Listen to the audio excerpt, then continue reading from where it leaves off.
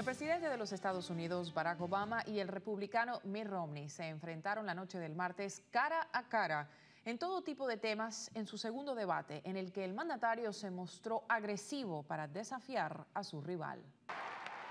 A los pocos minutos de comenzar el segundo debate presidencial, ambos candidatos sacaron toda su artillería. Tenemos a menos personas trabajando hoy en día que cuando el presidente asumió su cargo. El gobernador Romney dice que tiene un plan de cinco puntos. El gobernador Romney no tiene un plan de cinco puntos. Lo que tiene es un plan de apenas un punto. El presidente aseguró que ese plan consiste en que el 1% de los estadounidenses que más ganan sigan lucrando, a lo que el candidato republicano respondió que él sabe muy bien lo que hay que hacer para cuadrar las cuentas. Lo llevo haciendo toda la vida, dijo. Durante los primeros 10 minutos del debate llevado a cabo en la Universidad Hofstra en Nueva York, los contendientes no se pusieron de acuerdo sobre el nivel de desempleo, cómo manejar la industria automotriz y también cómo impulsar la economía y el mercado laboral. Según él, yo dije que deberíamos dejar que Detroit se fuera a la bancarrota. Y sí, tienes razón, mi plan era dejar que las compañías de autos se fueran a la bancarrota, como lo hizo 7-Eleven, Macy's y las aerolíneas Continental, para que resurgieran aún más fuertes. Lo que dice el gobernador simplemente no es verdad.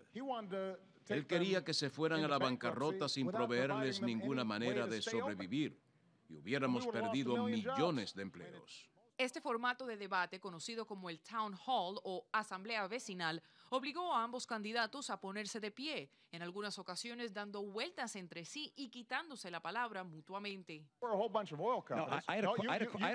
A diferencia del primer cara a cara en Denver, esta vez el presidente salió con mayor energía para enfrentar a un rival que utilizó una estrategia similar a la empleada en Colorado y que le dio buenos resultados. Pero la noche del martes tuvo frente a él a un oponente distinto, tal y como los demócratas lo habían anunciado. Un duelo duro que fue seguido por una audiencia estimada en más de 50 millones de personas por televisión. Creo que hubo puntos anotados de ambas partes, sin embargo, no encontré a ninguno de los dos candidatos particularmente cautivador, así que es difícil para mí decir quién fue el ganador. Ambos candidatos protagonizaron un agitado debate con un formato de preguntas abiertas del público, hechas por un grupo de votantes indecisos que pusieron a los dos a prueba. Las relaciones comerciales con China, la sanidad, inmigración y el reciente ataque contra Estados Unidos en Libia fueron algunos de los temas discutidos. El Departamento de Estado se negó a dar seguridad adicional a la embajada en Benghazi, Libia, ante los ataques que dejaron cuatro americanos muertos.